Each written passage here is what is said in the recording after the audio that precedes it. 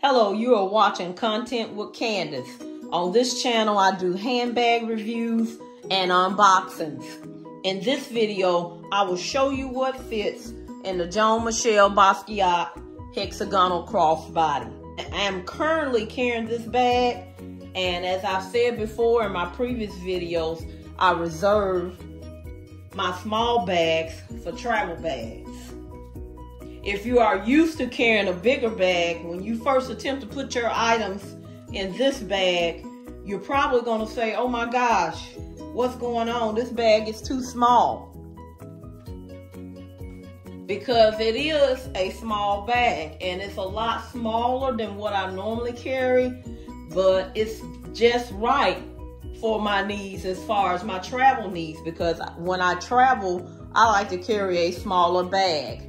I don't like carrying bigger bags. This bag is easy to carry. This bag is a light bag. So in today's video, I'm going to show you what fits in this bag. If you want to see an unboxing of this bag, please tune into my channel, Content with Candace, and you will see an unboxing of this bag in a previous video. And in an unboxing video, you all also go into more details about the measurements and that kind of thing. But this video, I'm only going to concentrate on what fits inside the bag. So let me show you what I had to leave out of the bag, first of all, so you can see what all got left out. All of these items got left out of this bag. And this is, I'm currently, of course, filming on my cell phone. So my cell phone case got left out. If you watch the unboxing uh, of this bag, you will clearly see that I was able to put my cell phone case in that first pouch, but that's because I had no other items in there. And when I tried to put this in with other items, it got kind of tight. These are my regular carry items that I normally carry, my headache medicine, my lotion, my Lysol, Tom's, lip product, so that got left out as well. And then the other thing that got left out of what I normally carry are these items too. A couple of checkbooks, a stack of coupons, all of that stuff got left out. Okay, so all of this here got left out of the bag from what I normally carry. But I decided that that's okay because I don't really need those items anyway when I'm traveling. I normally carry those in a travel bag and this right here is just fine for my needs as I travel. Okay, so we're gonna see what fits in this bag. Uh, like I said, if you wanna see the unboxing, go ahead and check out my previous video. I've always discovered I don't like stuff in my bag. I want the bag to maintain its natural shape. And this is a structured bag, so I want this bag to maintain that shape. So that's why um, I kind of erred on the small side when it comes to putting items in this bag because I want to be able to close without losing its shape. And as you can see right now, the bag pretty much has maintained its shape. And that's what I like. I like to take very good care of my bags. I don't want them bulging out and stuff so to the point where they're losing their shape. So let's see what fits inside this bag. Then we'll look at what else we can put inside this bag. I'm gonna unzip. This is the front portion of it. I'll just unzip so you can see everything inside the bag and what it looks like. And uh, of course, I'm gonna take the items out so you can see that as well. I have my keys. Take those out my pen and my pencil, my card case, and then I have a check register in there and my earbuds. And then also, I'm not gonna pull this out, but you see I have my eyeglass cleaning cloth in there as well. So that is what I have on the front side of the bag. So I'm gonna go ahead and put those items back in. And now I'm gonna show you what actually fits in the back of the bag. So you can see that as well so that fits very, very comfortably. These items all fit comfortably in the front portion of this bag. And now let's look at the back side of the bag and see what fits in the back portion. Now the back portion is not as wide as the front portion. So go ahead and tell you that up front.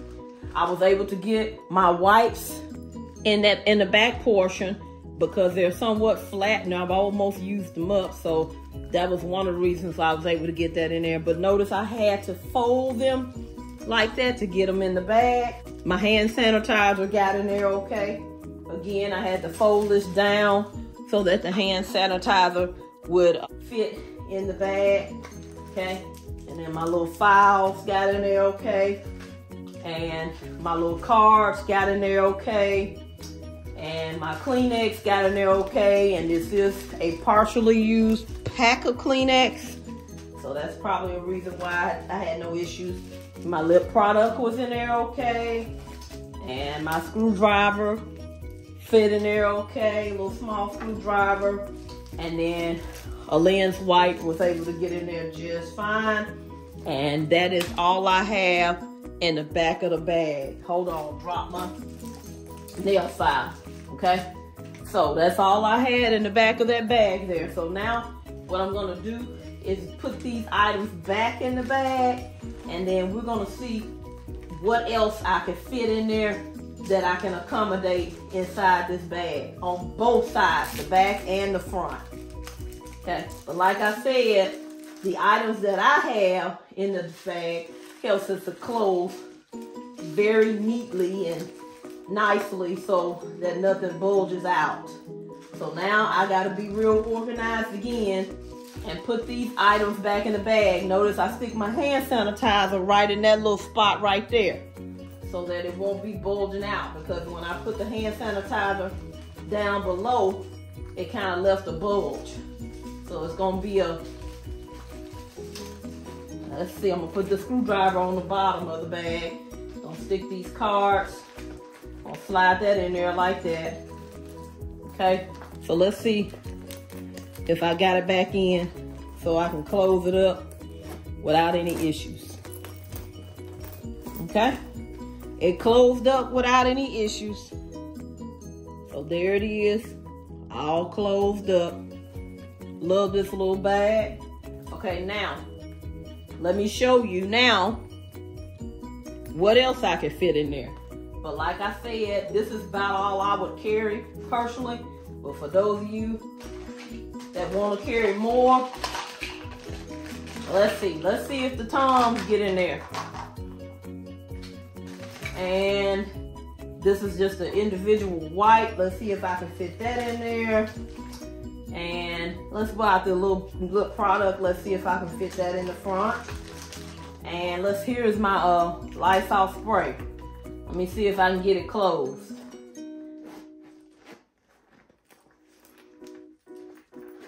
Okay, now I got that in there.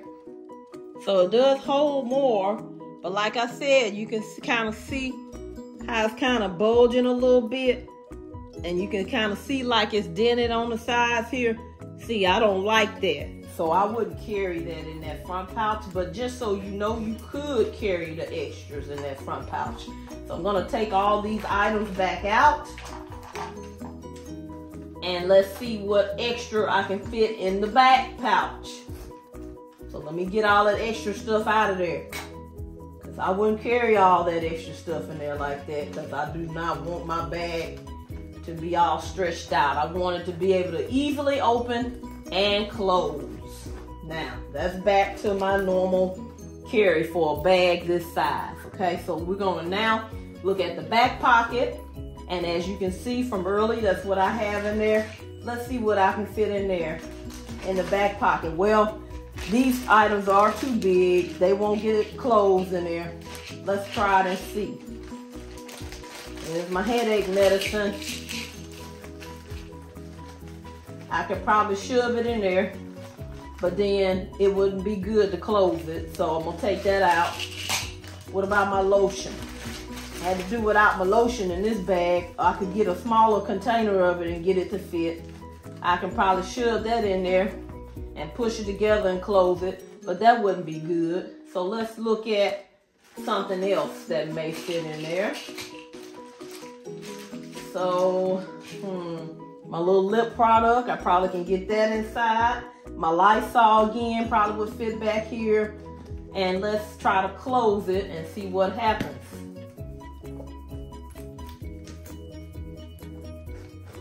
Well, it fits.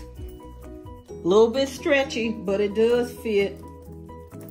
Okay, so as you can see, although I, I personally do not want to carry a lot in it, I choose to carry a little less than its normal capacity.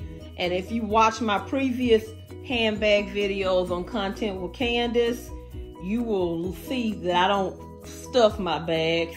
I carry a little less than the normal capacity. Thank you for watching.